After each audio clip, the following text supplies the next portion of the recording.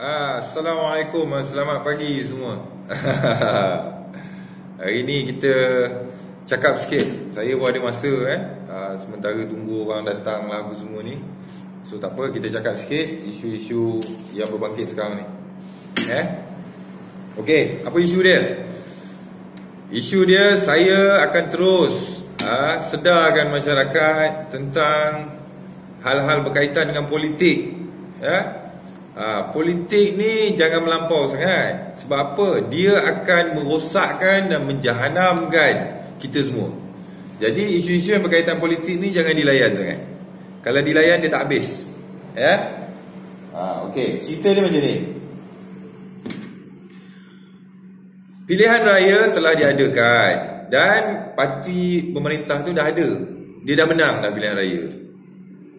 Jadi dalam dalam erti kata kalau dah menang pilihan raya tu makna parti yang kalah tu dia kena akur ya? Dia kena terima hakikat dan dia kena taat dan hormat eh ha, sebab apa? Dia tak boleh lah kecam sebelum pilihan raya yes korang semua argue each other ha, memenangi hati rakyat apa semualah ya? Tapi selepas pilihan raya korang adalah pihak yang kalah yang kalah ni dia kena ubah mentaliti dia membantu kerajaan macam mana nak membangunkan hal-hal berkaitan dengan kepentingan rakyat. Baru nama dia kau berjuang untuk rakyat walaupun kau kalah. Tapi kalau kau mengecam kerajaan, kau mengecam pihak yang menang tu, itu menunjukkan kau bukan berjuang untuk rakyat. Kau berjuang untuk kepentingan politik kau. Faham? Ini yang kita semua kena fikir dan faham. Eh? Dah kalah, buat cara kalah. Ha, jadilah orang yang kalah tetapi dihormati. Ha, jangan jadi kalah lepas tu orang pandang macam orang huru-hara, macam lutung beranak anak sulung. Faham? Ha, ada pula dia dah kalah lepas tu dia pergi kecam kerajaan. Lepas tu dia sembang hal kepentingan rakyat. Kalau kepentingan rakyat, kita dah ada ha, pentadbiran, pengurusan, kabinet dah ada. Bantulah. Kalau kita duk kacau-kacau dia, macam mana dia nak buat kerja? Besok kalau kau menang pun, sama juga. Jadi budaya-budaya yang sudah-sudah ni, kita bangsa Melayu ni kena sedar. Eh? Jangan diamalkan lagi dah budaya-budaya dengki-dengki, ah, bergaduh sesama sendiri. Buat apa? Yang yang susah tu nanti kita. Faham tak? Termasuk isu boykot tu. Ha? Boykot tu adalah satu benda yang kalau dipikir pakai lutut sekalipun akan dapat jawab, jawab, jawapan dia kita akan dapat dia adalah ibarat pasang tali untuk gantung leher sendiri. Nampak tak betapa ketinggalannya kita punya pemikiran? Ha? Cina tu kalau dia cuti raya Cina pun kita dapat rasakan dah. Ha? Tak adanya dia tu macam mana? Kan? Kedai semua tutup, ha? semua tempat pergi nampak tak ceria pasal apa? Dia tak ada dia pergi raya seminggu. Kan? Apatah lagi kita pergi cakap besar belagak boykot dia tak payah boykot kita. Kita sendiri boykot maknanya kita nak bunuh diri sendiri ke apa? Kan? Ha, yang berhak untuk bercakap tentang bangsa ni mengecam bangsa boykot ni tu Indira Gandhi tu. India. Tahu Ha, dia tu boleh pasal apa? Dia tak pakai apa barang pun yang buatan bukan India. Semua barang yang ada dekat dia cermin mata dia, cermin dia, kasut, slipper dia semua India. Kalau tak ada orang rakyat eh, negara India tak buat benda tu kalau katalah negara India tak buat slipper, dia tak pakai kasut. Ini kita sembang boykot, boykot, boykot. Beli beras kedai Cina. Boykot, boykot, boykot. Anak cucu kerja kilang Cina. Kan? Ha, jadi cakap tu biarlah nampak cerdik, janganlah nampak bodoh. Bakar, bakar, bakar sampai bila kau nak bakar? Orang Melayu ni betul lah kita akui. Kalau zaman mak bapak kita dulu, kita tak boleh expect dia orang tu cerdik pandai intelek sebab dia orang tu berada dalam era selepas uh, merdeka. Kan? Ha, macam kita ni dah generasi ke berapa? Kan? Patutnya kita cerdik lebih cerdik daripada generasi sebelum ni. Faham? Sebab tu mak bapak kita dulu kalau dia didik kita dia pakai pelepah kelapa, pakai rotan, pakai batang kayu kopi. Sebab knowledge kurang. Jadi lebih kepada uh, apa ni rotan pukul untuk nak ajar anak zaman sekarang ni orang tak tak ajar macam tu okey uh, jadi saranan saya kepada kerajaan supaya adakan satu peraturan atau undang-undang kuat kuasakan ya fokus selepas pilihan raya adalah buat benda-benda untuk kepentingan rakyat Ha, jangan biar lagi orang uh, membawa isu-isu berunsur politik. Eh? Ha, kalau nasib baik tu Tun Mahathir, kalau yang Tun Mahathir tu adalah orang yang berfikir macam aku, satu bendera pihak kalah pun tak boleh tegak dekat tanah Melayu ni. Pasal apa? Dah kalah, bendera kau semua turun. Itu memanglah dalam peperangan pun macam tu.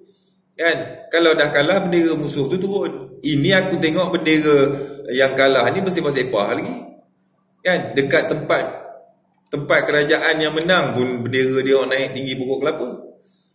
Ha, sepatutnya tak boleh lagi dah. Ha, pilihan raya dah habis. So tak boleh bercakap lagi benda-benda yang berunsur politik. Ha, kita hanya boleh bercakap benda-benda macam mana nak bantu kerajaan, macam mana nak membangunkan negara, macam mana nak majukan, macam mana hak kepentingan rakyat. Ini yang patut kita cakap. Ini kita dah tengok cakap pasal politik. Isu-isu pelik-pelik, bodoh-bodoh punya isu. Kan? Ha. Mula-mula, bila dah kalah, dia cakap isu kerajaan PH hancing. Tak tunaikan janji. Kan? Ha. Agaknya dia ni jenis apa tau? Malam ni berjimak, besok bini dia beranak. Orang tu baru masuk kerja. Dia ambil masa lah nak buat kerja. Takkanlah dia dapat kerja hari ni, hari ni settle semua kerja dia. Kan? Ha. Serang bab tu. Itu fikir pakai lutut pun tahu memanglah tak boleh buat. Okey. Ha, lepas tu tengok hal tu tak jalan, serang bab semburit. Ha, semburit ni pun serang-serang-serang tak jalan juga. Ha, serang bab isu hina menghina. Hina Nabi, hina Agung, hina ni tercetus pula isu macam tu. Kan? Ha, dia ha, pada pengamatan saya sendiri buat, sendiri kecap, sendiri heboh. Oh, Islam dihina. Siapa yang buat ni?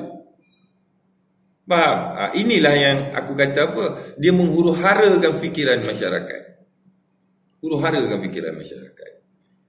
Eh? Dia tak nak orang-orang Melayu ni, masyarakat ni bijak pandai dia tak nak. Dia nak orang Melayu yang ada semangat dan boleh mengikut arahan. Ha, fikir tak payah fikir, ikut je aku. Ada jenis tu. Ha, jadi itu yang silap ni. Jebat derhaka buat video daripada bulan 1 hari tu. Sampai sekarang. Yang takut dengan aku tu orang yang dah lama duk main kat media sosial ni. Dia orang yang takut bukan yang baru-baru. Yang lama-lama tu takut. Ha, lepas tu yang macam-macam yang lucai-lucai ni yang baru nak belajar-belajar cacah ni dia pun start lah tiru cara aku. Kan? Tapi ada yang tak berani pun ada. Kan? Ha, orang buat YouTube dia nak buat YouTube, orang buat YouTube orang cakap live macam ni. Dia buat YouTube, ambil video orang bubuh kat YouTube dia. Bubuh lah muka sendiri kalau berani. Kan? Ha, jebat tak ada takutnya. Cuma jebat ni dia tak layan orang-orang bodoh ni. Buang masa. Banyak benda lain kita dah fikir. Kan? Ha, dia bakar-bakar-bakar, dia biar orang bodoh sendiri.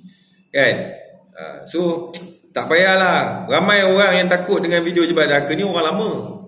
Ha, sebab apa? Dia rasa dia buat lama pun tak mendapat sambutan sehebat jebat dapat. Macam mana je buat, buat sekejap je Kan ha, Itu menunjukkan aku bercakap benda yang betul ha, Aku adalah orang yang neutral Sebab tu Kiri kanan masyarakat boleh terima Tapi kalau kau buat video Buat live semua bercakap Menyebelahi satu pihak Dan kau pula dikenali sebagai orang politik Tak ramai lah orang nak tengok kau Orang tengok kau pun orang menyampah saja Kan? Ha, jadi itu yang buatkan kau cemburu, sakit hati, dengki. Ini semua isu-isu yang merosakkan bangsa sendiri tau. Ha, lagi baik fikir macam mana kita nak bersatu, nak bantu kerajaan. Ni bantu tak nak. Sembang bab bersatu, suruh bersatu tak nak. Kan? jadi kita anggap sebenarnya negara kita ni tak ada masalah apa pun. Perkauman pun tak ada. Cina pergi tokong tak ada orang kacau. Melayu pergi masjid tak ada orang kacau. India pergi kuil tak ada orang kacau. Tapi kenapa ada bunyi isu-isu perkauman, isu-isu resis agama ni semua? Kita cakap Melayu tak resis. Hari ni kau boykot Cina. Tu cakap tak resis. Ah, ha, tak mengaku resis. Oh, Melayu mana ada resis? Kalau Melayu resis, Cina tak boleh duduk tanah Melayu ni. Kau sembang apa? Ah, ha, baca buku lah, bodoh. Kan? Cina tu dia kalau balik negara dia pun dia tak diterima. Sama juga kau. Mak bapak kau Jawa, Banjar apa semua. Kalau balik Indon, kalau kerajaan Indon tak bagi kat tepir kan kau. Dia kata kau pendatang. Faham? Ha. Di mana kau duduk hari ni, itulah negeri kau. Kerakyatan kau tu Malaysia. Faham? Ha. Cuma Cina, India, bangsa lain-lain ni, dia sampai lambat. Melayu ni sampai dulu. So, kita jadi tuan tanah. Faham? Tapi tak bermakna dia bukan bukan rakyat negara ni. Dia bukan orang sini. Dia orang sini. Dia lahir sini. Sekolah sini. Faham? Ah, so kau nak halau dia pergi mana? Pergi duduk tengah laut. Kata sembang hak kemanusiaan, hak kebebasi, hak asasi manusia. Tapi bila bercakap je, nampak resis. Nampak perkauman. Nak halau Cina, nak halau bangsa lain apa semua. Kalau bagi Melayu saja duduk di tanah Melayu ni, boleh hidup ke? Boleh hidup? Kerja malas, fikir malas, baca malas, asyik nak bergaduh sama sendiri. Lepas tu, nak hentam bangsa lain. Cina tu, dia kontrol ekonomi. Sebab apa? Sebab orang Melayu ni, dia tak sehebat Cina tu meniaga. Cina tu memang tradisi dia meniaga. Faham? Ha. Jadi, kita ni kalau nak bersaing, bersaing cara sehat. Engkau dah tak boleh bersaing Lepas tu kau boykot Lepas tu kau cakap kau gentleman Macam telur kau besar lori Kalau gentleman Bersaing lah Buat apa boykot Boykot menunjukkan kau Takut bersaing Itu pasal kau boykot ha, Kalau jadi aku Bersaing Bersaing sampai dia bungkus. Ha, Baru betul. Baru boleh cakap pasal gentleman. Aduh Melayu Melayu. Memalukan bangsa je isu boykot ni. Nampak kau ketakutan kau tahu. Tak payah boykot Aku cabar orang Melayu. Challenge ekonomi dia. Niaga ha? Aceh datang daripada Indonesia tu Baru berapa tahun je. Dah kaya raya dah Buka kedai runcit je. Melayu duduk sibuk Boykot sana Boykot sini. Suruh meniaga malas. Ha? Bila sembang bab meniaga Asyik nak menipu je kerja je ha? Lepas tu bungkus. Ha? Kerajaan bagi lesen Bagi semua kepentingan ha, bagi kelebihan pada orang Melayu pun tak boleh hidup juga mampu juga. Kan? Ha, jadi fikir-fikirkan politik asal dia bercakap saja berunsur politik tolak tepi. Dan asal yang bercakap tu kalau orang politik tak payah percaya sangat. Pasal apa? Dia adalah kepentingan yang dia kejar ha, dia gunakanlah semangat-semangat Melayu yang bodoh-bodoh ni supaya menyokong dia ha, lepas tu dia cakap lah inilah kita lah Melayu kita lah Melayu Melayu apa macam tu Kan kalau Melayu dia bersaing, dia jaga negara dia baik-baik. Dia tak menyerang pemerintah Melayu. Faham? Ha, so fikir-fikir kan sekian. Wassalam.